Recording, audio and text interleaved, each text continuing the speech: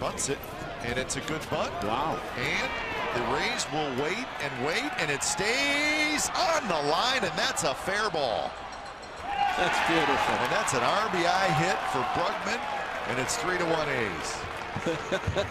it got on the chalk, and it stayed on the chalk. So it's number one.